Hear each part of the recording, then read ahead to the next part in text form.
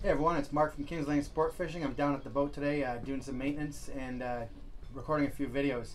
And uh, one question I often get asked is how do I store my rigs? So here I got a flasher with a fly on the end. And uh, you know, some guys will take it and just wrap it around. The problem with doing this is it really uh, kinks your line. So here's a tip that I use. Basically, uh, I go to the dollar store and I pick up a pool noodle, you know, for like a buck fifty, two bucks. And what I do is I take a knife and I basically cut a little piece of the pool noodle. And I take the pool noodle, I put a slit in it, and then basically from there, I take my flasher, take my pool noodle, put that around. And what I do then is I just wrap the leader around the pool noodle. And then take the hooks and put it in the foam. And now I got a great way to store my rigs.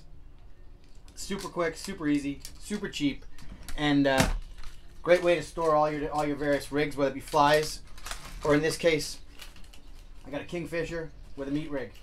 What I do in the kingfishers, I usually use two pieces, and uh, it works really really well. And then when I store these, all I do is I have a, a clear bin that I picked up at Walmart for like 10, 15 bucks, big bin.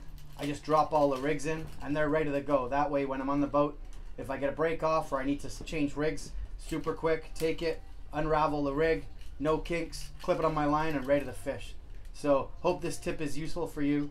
Super cheap, super effective. You know, dollar fifty, two bucks. Get a big, huge pool noodle. You can probably do about 20 rigs with one pool noodle. So uh, give it a try. Super simple, and uh, you know what? Uh, stop uh, those kinks in your fishing line. Hope this helps. Good luck on the water this year, and if you do like the video, please don't forget to click on the subscribe button and that like button. It helps me a great deal as an amateur YouTube content provider. Good luck. Talk to you later.